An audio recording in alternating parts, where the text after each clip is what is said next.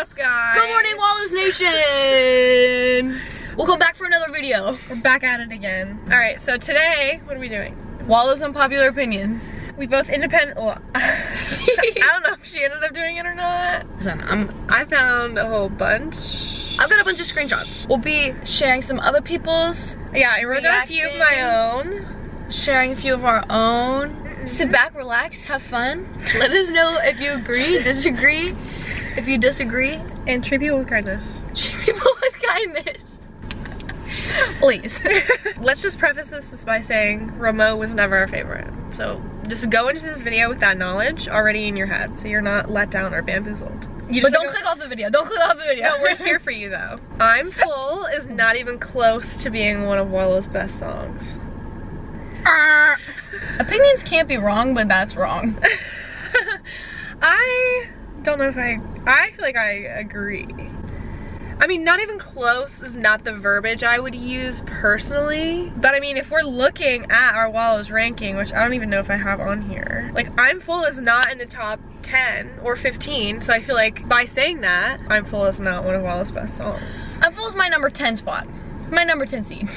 I don't know. I just love the buildup of that song. And this song live, and the like chaos of it, the production is really good. Yeah. I just, I love the sound of the song. I will die for this song. I think Spring is the best thing that they've ever released. No, I disagree. I disagree too. Nothing Happens, I think, for sure, to me, is the best thing they've put out. I think Nothing Happens has like a wider variety of sounds than Spring. I think the lyrics are a little more mature. I don't know, I love pictures of girls these days, but they kind of do the same thing the whole song, you know? We're not She getting- didn't speak on It's Only Right and Ground for a reason. Exactly. Because they're, But as we're talking about a comprehensive whole piece, I think Nothing Happens is better. Nothing Happens does, it flows. Uncomfortable is one of Wallows' best songs. For me, I'm gonna say again, disagree. I love Uncomfortable, especially last night we were talking about the Levi's arrangements. However, like I said, for I'm Full, like in the grand scheme of like me ranking the songs, it ranks pretty low for me personally, so I disagree. I love that song. I really do love that song. But they do have better songs. Kind of long. I think she's perfect. I wouldn't change anything about her. But she's not, The best of what they have. yeah. I was gonna say she's not like special. She's special. She is special. But she's She's not suntan. she's not she I don't think she's of their best. None of their songs are inherently bad. Mm, except actually we're not gonna talk about it. Anyways, unpopular opinion. 1980s horror film 1 is so much better than 2. Disagree. I love 1980s too. I think that's wrong too. I just love that 80s Edges out a little bit. synth pop. I just think that's exactly what that song needed. Do you remember when they were saying something about how they had a Worlds Apart too? That was the same sound, like 80s synth pop. Yeah. Where is that? Where is that? I feel like they don't surprise us with anything anymore. I don't like it. like we would just wake up sometimes in high school and there'd just be a new music video. Mm-hmm. Or just like, be like, oh, by the way, yeah. just dropping at noon. Or like 1980s. That was so random. Yeah. We were always in our econ class. Always in our econ class. Music videos, always in our econ class. All right, this is older, but somebody said, I did not like Especially You. I don't like the new Wallow sound at all. They need to go back to the Nothing Happened sound. It was way better. I think Especially You is a... well, actually, I think Remote's a better example of a different sound. However, if we're picking from Tell Me That It's Over, I do think Especially You probably be the example I would use. Yeah. I don't know. I don't think you can grow as an art, like, as an artist or a group if you don't do different sounds. So I don't think that they should necessarily necessarily go back to it. I do like more of like when you can hear the drums and the guitar. Yeah. Like I like being able to hear the instrument, whereas like remote is not giving that. Wallows is only respected because they have an actor in the band. Wrong. I mean, wh- where do you even get that? That's so gross. what other band is that the case for? Um, Like, I like feel like- Finn Wolfhard's, someone could probably say that for, or like Joe, like D J O, with Joe Keery. Yeah. That's his last name, right? Yeah, Joe Keery. Okay. Like I think like they're saying like that's the reason why they're so popular or why they started to get so popular.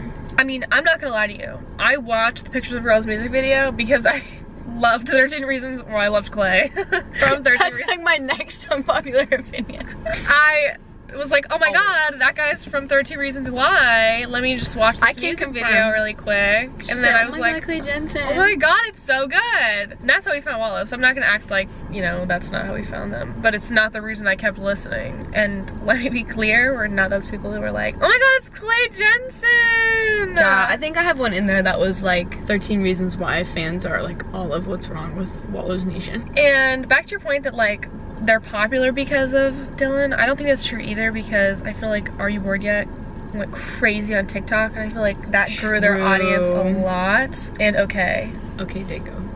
like that just I feel like doubled their audience. Tell me that's over, cleared, nothing happens. I don't even want to discuss this. That's wrong.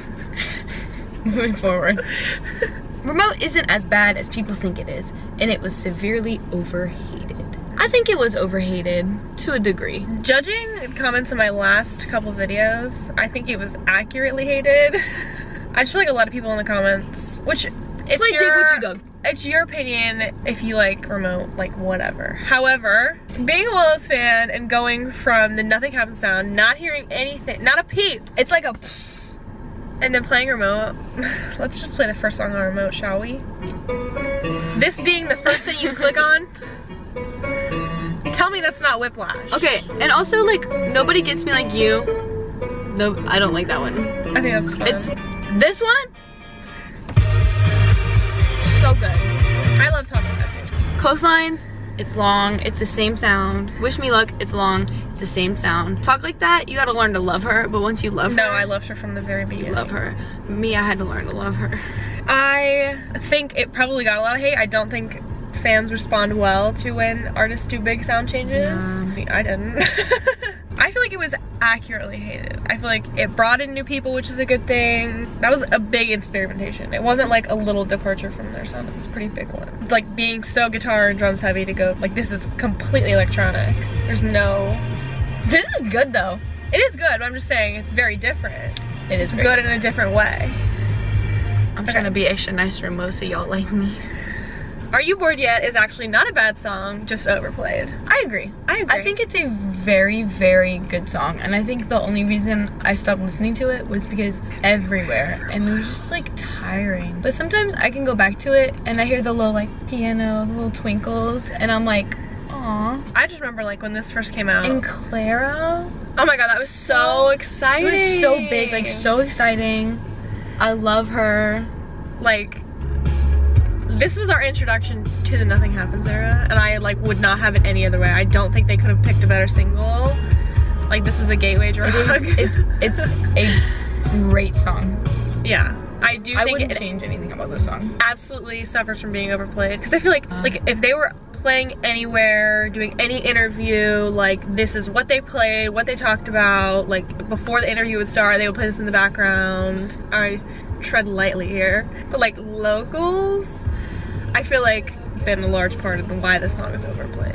They should have done meet and greets this past tour. Honestly, it's cool to meet them. But it's also like obviously it's hard to not have an awkward interaction. Like I feel like you kind of have to go into it with the expectation that's kind of gonna be awkward. There's only so much you can Say in 20 say seconds, 15 in seconds. 15 seconds when it's really just hi and you're taking a picture. And I honestly feel like I enjoyed our VIP experience more at our show without a meet and greet because it did not mess up where we were in line. Oh, true. That one, they kind of like, for our show, like everyone sat down, like in their rows. They got like their posters, their camera, merch if they wanted to get merch early.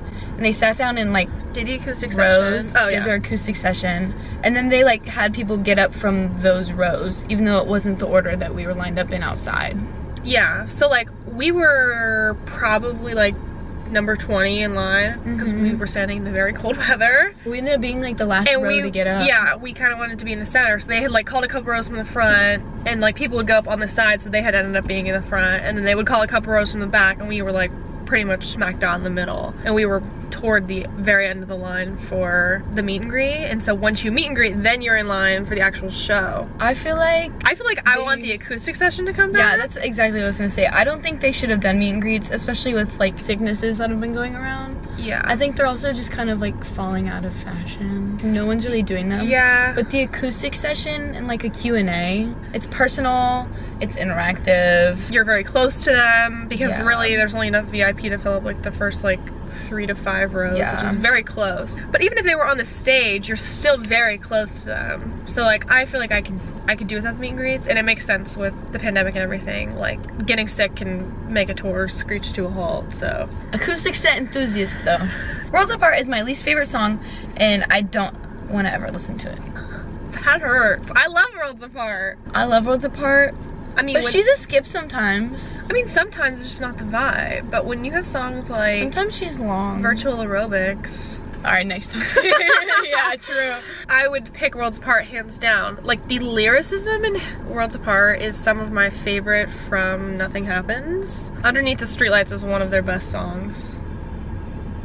I feel like Underneath the Streetlights in High School Pool is one of the best tour experiences. Yeah. Underneath the streetlights, it was kind of jarring. I remember the first time like we ever heard it. Like we were talking Again. about like with remote and the sound of that just being Shockingly so different. different. And it's so short and just like sporadic, like out of nowhere. I would kill if they would record it with Oh, that in the middle. Like be able to listen to that like whenever I wanted to would be so cool. Wallow's remixes are usually misses. That's my own unpopular opinion. Sorry, but yes. I know a lot of people like the OK remix with Remi Wolf, but I think I listened to it one time and I just like, let's play it, we'll play it Yeah. for justice. Like immediately very different than what we're used I to. I like this intro though.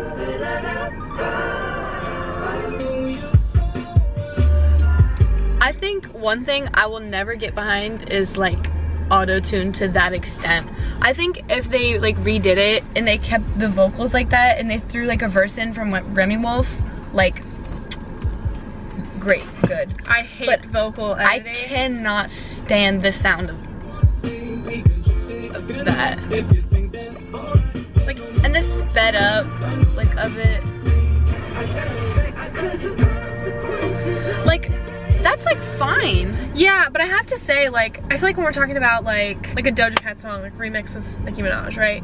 That's yeah, like it's still very much say so. Like you could still Yeah. hear it in that, whereas this nearly sounds like a completely different song. Like you just put me in that section, I would have no idea that it was okay. that's a fantastic comparison actually. We need to listen to that on the drive back home. it's a miss for us, sorry. Yeah, Hurts Me is underrated. I don't think anyone talks about that song. No don't talks about that song, really and it's my favorite song. It was my favorite too when it first came out. Yeah. This is a really good example of like this new sound being done in a really good way. Because this is very like electronic, Yeah. but I think it was used better than it was in mouth. I hate people who record for the entire show. Get your short video and put your phone down. I feel like if you're recording like the entire show, And you're not having fun. it's really difficult for me at least to really truly be in the moment when I'm taking a video. Yeah. And like I will say, for me, I've seen a lot of people like, you're never gonna watch those concert videos back. I watch Yeah, well, those concert videos I do watch back at And I'm- least once a month. I'm just like, Yeah. oh, let's just go watch. Do you? If anyone has a video of the ice, the guitars at the end of Ice School Pool when they're like, you know what I'm talking about. If you know what I'm talking about, you know what I'm talking about. but go ahead and send send a link or something because I've been searching forever. I'm like always texting her and I'm like, do you have this one do you have a clip from this one part? Because like they do like different things when performing it live, And they do like on the recording, yeah. and I want to like look back and hear them. But Yeah. you don't always know when they're coming. But I also am a big enthusiast of like putting your phone down and like jumping and screaming and like dancing. I don't mind the backdrop for this tour, but the Nothing Happens backdrop was genuinely otherworldly, and this one just doesn't have the same impact as the Nothing Happens one for me. I think the Nothing Happens one was like iconic. It was exactly what that era needed. This one I get it though, like it looks like the cover. It looks nice. I feel like they've done cool effects with both, but I feel like they both match their tours. yeah, I think it I think it goes well for what they want to do. Drunk on Halloween is a waste of a fan pick. Was this your own personal? No, I didn't write that one.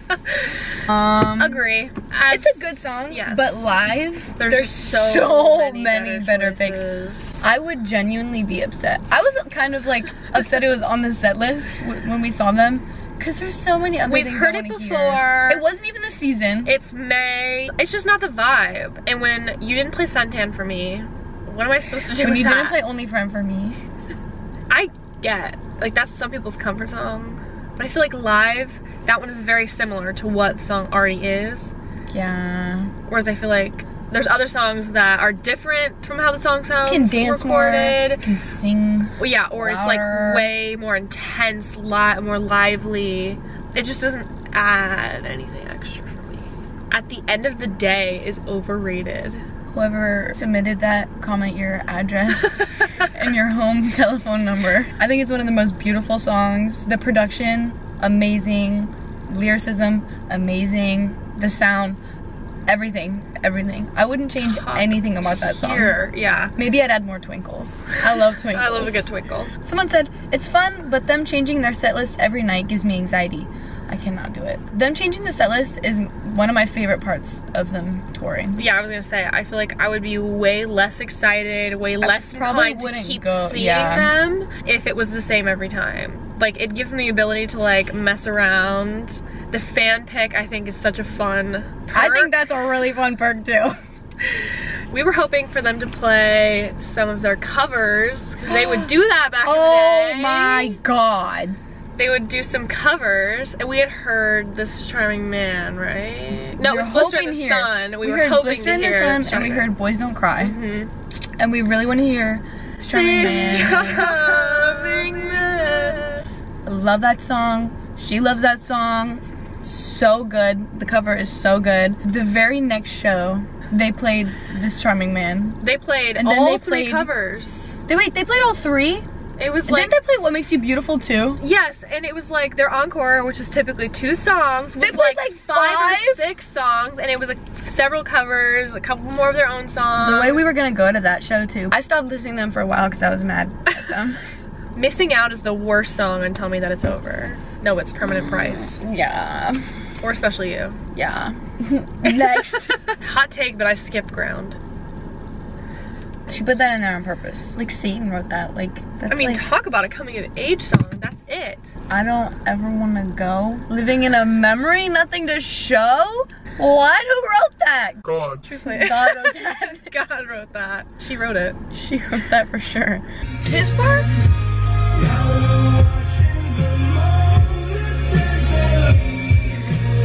Okay, here's one of mine that I wrote down. They show a lot less personality on social media. They probably got like new management or something. I feel like it's almost a 180 from what it used It's to be. It's way less interaction. Let me set the stage for you. Like, Nothing happens on boxing video. Watch that video and come back. Did they put anything out like that. oh my god, it's so funny. Like videos like that, those unboxing videos, or they would just post up on their They stories. would never do stuff like that now. Or like after our show, Braeden went live for like an hour and a half. Braeden is so goofy. That man is quirky. He's an Aquarius. yeah. He's quirky. I feel like without tour videos, like I feel like a lot of fans would not know that. Mm-mm. Like you don't really see it anywhere. Another one of mine, It's Only Right is the best song on Spring. Better than Ground? Yeah. For now. For now. Catch me in two hours, ask me. Alright, last one of mine. Screaming at them during tour, like during breaks especially, is very cringy. Oh my god. People, that's how you ruin a show. That like, Add secondhand embarrassment. a little anecdote on that. People bring signs. We're not talking about signs right now. That's so cringy and weird and like dehumanizing for them. Or like people who push out something things on their inappropriate. Exactly, signs. something inappropriate or something like, what is wrong with you? So ick. It's not funny.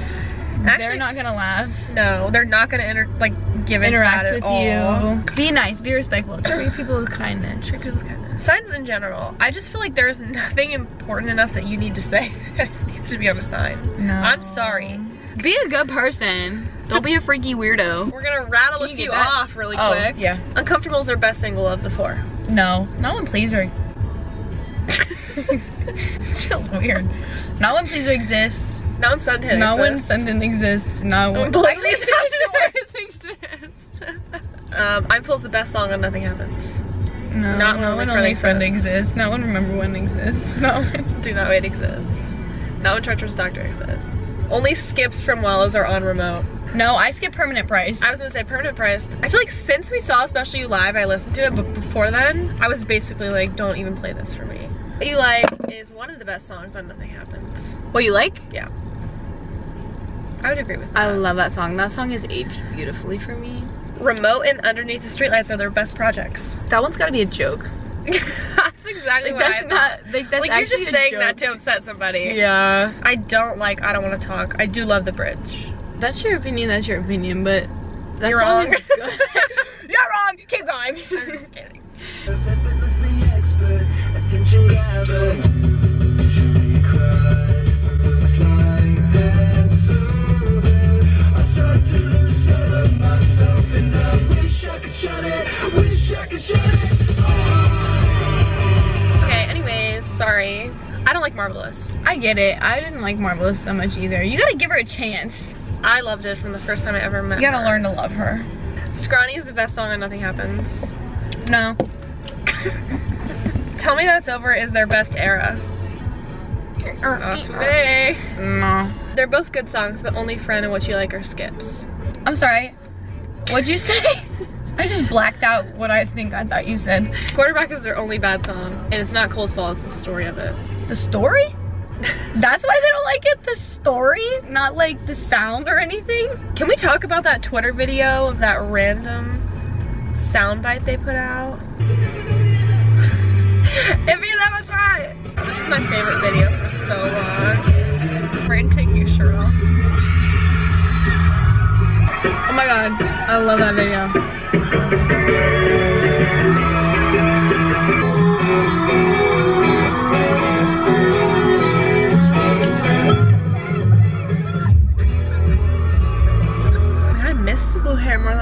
Did. He looked good. He looked really good. This altered the course of the earth. All right, last one. Nothing Happens is a better album overall than Tell Me That It's Over. Tell Me That It's Over has some highlights, but half the songs feel meh, especially when compared to Nothing Happens. I'm glad they're experimenting with different sounds, but Tell Me That It's Over as a whole body of work just feels disconnected and doesn't flow as well as Nothing Happens. I agree. I don't feel like half the songs are meh, but I would say that Nothing Happens is definitely more sonically cohesive. I don't know what else to add. Like, yeah. Okay, guys, that's gonna do it today. Remember when we made a prediction that we would have a song by fall? I made that prediction. I will not say we. I made that prediction. I think we'll have a new song by June. They like to put stuff out in March though, in June. Dude, the and- spring, like, can you just do something different? It's been real. Thanks for coming on this journey with us. Any last anecdotes you want to leave them with? Dream only friend. All right, it's been real, guys. Thanks for tuning in. Bye.